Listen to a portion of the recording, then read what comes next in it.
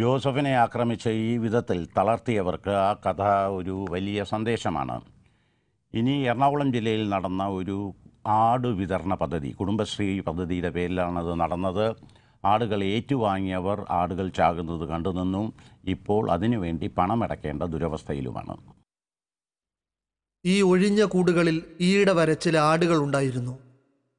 കുടുംബശ്രീ പദ്ധതി പ്രകാരം കുമ്പളം എടക്കാട്ടുവയൽ എടത്തല പഞ്ചായത്തുകളിലാണ് ആടുകളെ വിതരണം ചെയ്തത്.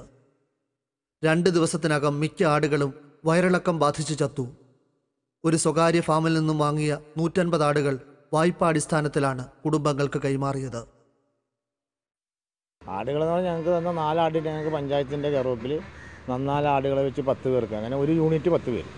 അങ്ങനെ ആ പത്ത് പേർക്ക് യൂണിറ്റ് തന്നിട്ട് ഇവിടെ കൊണ്ടുവന്ന് രണ്ട് മൂന്ന് ദിവസം കഴിഞ്ഞപ്പോൾ ഒരാ രണ്ടാടിന്റെ ചുണ്ടത്ത് ഇങ്ങനെ തരിതരി പോലെ ഇങ്ങനെ പൊങ്ങിയിട്ട് അതിന് അസുഖം ഉണ്ടായി. പിന്നെ രണ്ട് മൂന്ന് ദിവസം കഴിഞ്ഞപ്പോൾ ഒരാടിന്റെ വയറിളകാൻ തുടങ്ങി. അതിന് പൊടിയും കാര്യങ്ങളൊക്കെ മേടിച്ച് ഡോക്ടറെ കൊണ്ട് എന്ന് പറഞ്ഞിട്ട് അവിടുന്ന് പൊടിയും മരുന്നൊക്കെ തന്നാണ് കൊടുത്തതാണ് പക്ഷേ അത് നിൽക്കാണ്ടായപ്പോൾ ഈ വയറിളകിന് രണ്ടെണ്ണത്തെ ഈ ചുണ്ടിന്റെ വെള്ളം അവിടെ കൊണ്ടുപോയിട്ട് ആ പകരം വേറെ ആടിനെ തന്നു അത് കൊണ്ടുവന്നിട്ടും പിന്നെയും ഒരാഴ്ച കഴിഞ്ഞ് പിന്നെയും വയറ്റിളക്ക് പോയി. അപ്പോൾ നാലെണ്ണത്തിനും കൂടി അങ്ങോട്ട് കൊണ്ട് അവിടെ കൊണ്ടുപോയി കൊടുത്തു. അപ്പോൾ ഇവിടെ ബാക്കി ഇവിടെ മൂന്നഞ്ച് പേര് എടുത്തിട്ടുണ്ട്. അവർക്കും ആടിനൊക്കെ ഈ രോഗങ്ങൾ വരാൻ തുടങ്ങിയപ്പോൾ അവരും ഓരോന്നിനും ഇരണത്തിനൊക്കെ കൊണ്ടുപോയി കൊടുക്കാൻ തുടങ്ങി. ഇപ്പോൾ ലാസ്റ്റായപ്പോൾ എല്ലാത്തിനും ഒന്നിച്ച് കയറ്റി എല്ലാം കൂടി കൊണ്ടേ കൊടുത്തു. അപ്പോൾ ആടില്ല കൂട് മാത്രമായിട്ട് കിടക്കുക ആദ്യം കൊണ്ടുവന്നപ്പോൾ കുഴപ്പമൊന്നുമില്ലായിരുന്നു. അത് പിന്നെ രണ്ട് മൂന്ന് ദിവസം കഴിഞ്ഞപ്പോൾ വയറിളകാൻ തുടങ്ങി. പിന്നെ ഡോക്ടറെ അടുത്ത് പോയി മരുന്നൊക്കെ വാങ്ങിച്ച് വിരളൊക്കെ മാറി. പിന്നെയും വീണ്ടും വിരളകാൻ തുടങ്ങി. പിന്നെയും ഡോക്ടറെ അടുത്ത് പോയി മരുന്നൊക്കെ വാങ്ങിച്ചിട്ടും കുറവൊന്നുമില്ല.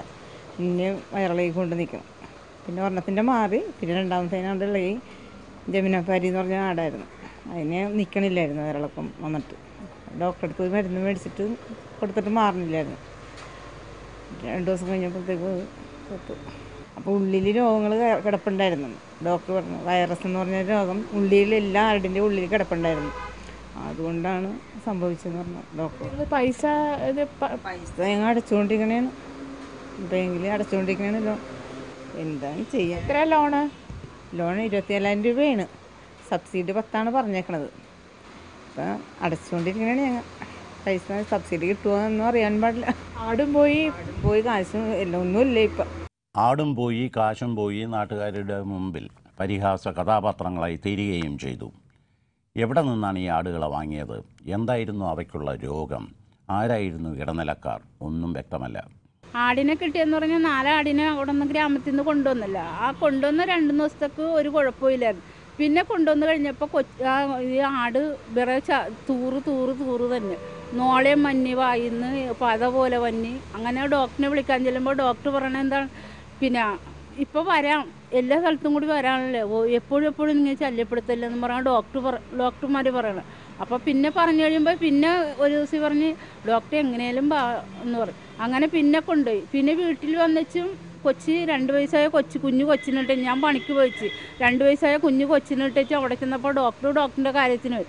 ആ നേഴ്സുമാരെ ആക്കിച്ച് അവർ പോയി അവർക്ക്. പിന്നെ എഴുപത്തഞ്ച് രൂപ കൊടുത്ത് ഓട്ടോന് ഇവിടെ കൊണ്ടുവന്നു ഞങ്ങൾ കുമ്പളത്ത്.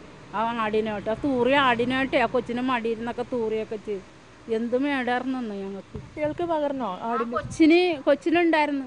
അപ്പോൾ ഡോക്ടർ ചോദിച്ചായിരുന്നു പല മൃഗത്തുങ്ങളെയും വളർത്തണുണ്ടാന്ന് ചോദിച്ചു. അപ്പോൾ ഞങ്ങൾ പറഞ്ഞ് ആ രണ്ട് നാല് ആടിനെ ഇങ്ങനെ പഞ്ചായത്തിൽ നിന്ന് കിട്ടിയിട്ടുണ്ട്. അതിന്റെ ആയിരിക്കും ഡോക്ടർ ഒന്നെങ്കിൽ കൊച്ചുങ്ങളെ മാറ്റി നിർത്തല്ല ആടിനെ മാറ്റി നിർത്താം. നിങ്ങളുടെ പൈസ വേറെ ആടിനെ ഞങ്ങൾ പതിനായിരം രൂപ ഞങ്ങൾക്ക് സബ്സിഡി തന്നിട്ടുണ്ട്. അത് നമ്മൾ ഇറക്കണമല്ലോ. അതിപ്പോൾ ഇറക്കി ഇറക്കിക്കൊണ്ടിരിക്കണേ. എന്ത് ചെയ്യും? ആടിനെ വേറെ തരാന്ന് പറഞ്ഞിട്ടുണ്ടോ? ഒന്നും പറഞ്ഞിട്ടൊന്നുമില്ല. ഈ ബാക്കിയുള്ള കാശ് ഞങ്ങൾ ഇരുപത് ഇരുപതിനായിരം രൂപ നമ്മൾ ഇറക്കണമെന്നാണ് പറയണത്. അത് എങ്ങനെ കൊടുക്കും? ആടിന്റെ കാര്യത്തിൽ തീരുമാനമായിട്ടില്ല അത് ഞങ്ങളിപ്പോൾ കൊണ്ട് അവിടെ തന്നെ ഏൽപ്പിച്ചേക്കണാണ് ഫാമിലി തന്നെ. ഇത് തീരുമാനം എടുക്കാൻ വേണ്ടി ഇവിടുത്തെ ബഹുമാനപ്പെട്ട പഞ്ചായത്ത് പ്രസിഡന്റ് പറഞ്ഞിട്ടുണ്ട്. ഒരു തീരുമാനത്തിലേക്ക് വരാനാണ് പറഞ്ഞേക്കണേ. എന്ത് തീരുമാനം? ഇതിന് നമ്മൾ ഈ പൈസ ഇപ്പോൾ ബാങ്കിൽ അടച്ചുകൊണ്ടിരിക്കുകയാണ് ഇപ്പോൾ ഇരുപത്തിരണ്ടായിരം രൂപ നമ്മൾ മാസം അഞ്ഞൂറ്റമ്പത് രൂപ വെച്ച് അടച്ചുകൊണ്ടിരിക്കുകയാണ് അപ്പോൾ അതിനൊരു പരിഹാരം ഞങ്ങൾക്ക് കാണണമെന്നാണ് ഞങ്ങൾ പറയുന്നത് വേറെ ആടിനെ തരാം അങ്ങനെ എന്തെങ്കിലും ഞങ്ങളൊരു തീരുമാനം ഞങ്ങൾ പറഞ്ഞിട്ടില്ല. വേറെ ആടുകളെ കൊണ്ടുവന്ന് ഇനി നാട്ടുകാർക്ക് വിതരണം ചെയ്താലും അവർക്ക് വിശ്വാസമുണ്ടാകില്ല. ഒഴിഞ്ഞ കൂടുകളിൽ ഒരിക്കൽ കൂടി ചത്ത ആടുകളെ കാണാൻ അവർക്ക് താല്പര്യമുണ്ടാവില്ല എന്താണ് ഇനി പരിഹാരം?